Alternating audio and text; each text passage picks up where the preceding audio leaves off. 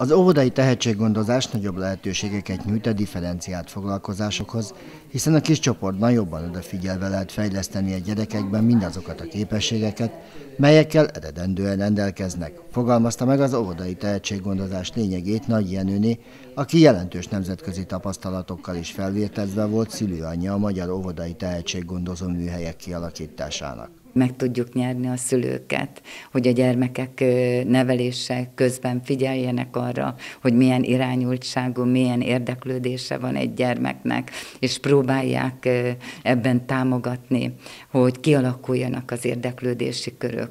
A jelenleg szarvason tanító pedagógus azt mesélte, tíz évvel ezelőtt végzett főiskolások körében egy felmérést, ahol a megkérdezettek 70%-a azt válaszolta, nincs érdeklődési köre. Ezt a tendenciát kell megállítani, és lehetőséget nyújtani a gyerekeknek, hogy életük jelentős részében azzal foglalkozzanak, amihez tehetségük van. Sebestyen Györgyi intézményvezető azt mondja, a tehetséggondozás és a tehetségek felmérése hiányterület az óvodában. Az óvodának a legfontosabb feladata a korai felismerés, mind a felzárkóztatás és támogatás terén, mind az erősségek kiszűrésében.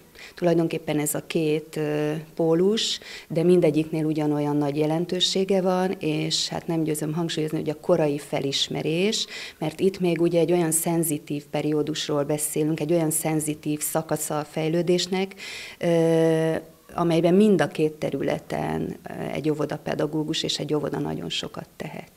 Az óvodai nevelés a művészetek eszközével című program átfogja az óvodáskor teljes nevelőfejlesztő munkáját.